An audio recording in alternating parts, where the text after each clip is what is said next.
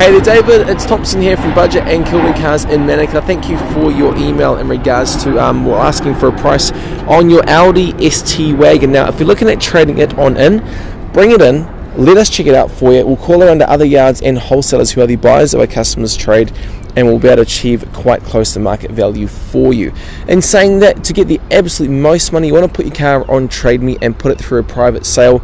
Obviously, that way does take a lot longer, time consuming, and a bit of a hassle, but that is the best way to achieve the most money for yourself. Now, we have been selling cars well over 35 years, and we do sell over a couple hundred cars a month, so can and we'll look after you. We've got, man, about 450 cars on our yard at the moment, not just a hatchback area, but tons of SUVs, commercial vans, station wagons, hybrid vehicles, people movers, and even heaps of utes.